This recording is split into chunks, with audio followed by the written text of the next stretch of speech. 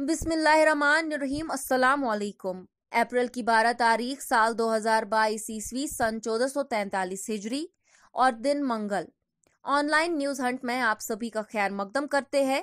आइए नज़र डालते हैं आज दिन भर की कुछ खास खबरों पर। छोटे बच्चे को बेरहमी से पीटने वाली खातून गिरफ़्तार। एक खातून को अपने नन्हे बच्चे को बेरहमी से पीटने के इल्ज़ाम में गिरफ़्तार किया गया। पुलिस जराये के मुताबिक सोशल मीडिया पर एक वीडियो वायरल हुई, जिसमें एक खातून अपने नन्हे बच्चे को बेरहमी से पीटती नज़र आ रही है।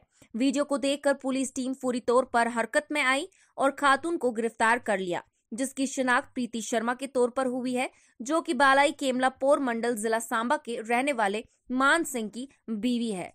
नाकापाची देखकर आदमी ने गाड़ी छोड़ दी, अनंतनाग में असला और गोला बारूद बरामद, पुलिस जनूबी कश्मीर के अनंतनाग जिला में कल रात एक नाका पार्टी को देखकर एक गाड़ी का ड्राइवर मौके से फरार होने के बाद पुलिस ने असला और गोला बारूद बरामद किया।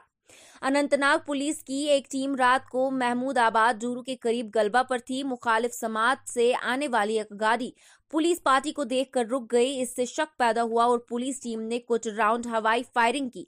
ताहम गाड़ी का ड्राइवर अंधेरे का फ़ायदा उठाते हुए मौके से फरार हो गया। पुलिस के तर्जुमान ने खबर रसा एजेंसी को एक बयान में कहा। तर्जुमान ने बताया कि नामालूम शख्स ने जिस गाड़ी को छोड़ा उसे चेक करने पर एक सुर्ख रंग का बैग मिला। बैग से ए के फिफ्टी सिक्स शॉर्ट बैरल दो ए के मैगजीन दो पिस्तौल तीन पिस्तौल मैगजीन छह hand grenade A K forty seven के forty four round nine M M बारूद के फिफ्टी एट राउंड बरामद किया गया।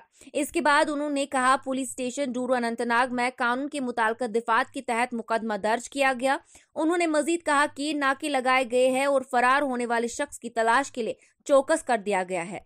वज़ीर अजम नरेंद्र मोदी को योमिया अजरत को बाकायदा बनाने पर खसूसी ऐलान करना चाहिए। अल्ताफ बुखारी, अपनी पार्टी के सदर और सबका वज़ीर सईद अल्ताफ बुखारी ने मंगल को कहा कि वज़ीर अजम नरेंद्र मोदी को साठ दिनों के अंदर योमिया अजरत को बाकायदा बनाने के हवाले से ऐलान करना चाहिए। खबर रसा इदारे के मुताबिक अल्ताफ बुखारी ने न्यूज़ कॉन्फ्रेंस से खिताब करते हुए कहा कि हज़ारों योमिया अजरत वाले ऐसे हैं जो तोवील अरसे से अपने हकूक के लिए जदोजहद कर रहे हैं।